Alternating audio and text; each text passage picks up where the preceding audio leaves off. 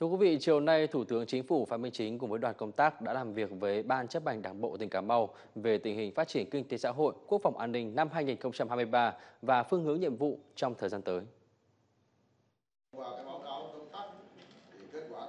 Báo cáo tại hội nghị, lãnh đạo tỉnh Cà Mau cho biết, năm 2023, mặc dù khó khăn, nhưng tỉnh đã nỗ lực phấn đấu và đạt được những kết quả tích cực, khá toàn diện trên các lĩnh vực.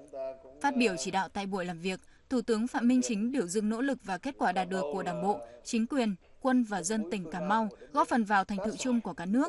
Thủ tướng đề nghị tỉnh quán triệt, triển khai thực hiện hiệu quả nghị quyết đại hội 13 và các chủ trương, đường lối của Đảng, bám sát vào quy hoạch đồng bằng sông Cửu Long, đặc biệt là quy hoạch phát triển kinh tế xã hội của tỉnh để thực hiện có hiệu quả và tạo bước đột phá cho phát triển toàn diện của tỉnh Cà Mau.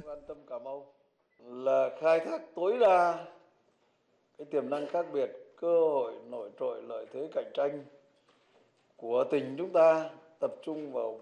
ba cái nội dung chính. Một là phát triển năng lượng tái tạo. Thì phải mở rộng cái khu công nghiệp khí điện đạm nhanh hơn, kịp thời hơn, quy mô lớn hơn rồi à, cái thứ hai là phát triển du lịch, dựa vào con người, dựa vào văn hóa, dựa vào thiên nhiên thứ ba là phải phát triển cái ngành công nghiệp nuôi trồng, chế biến thủy sản, hải sản, mà đặc biệt là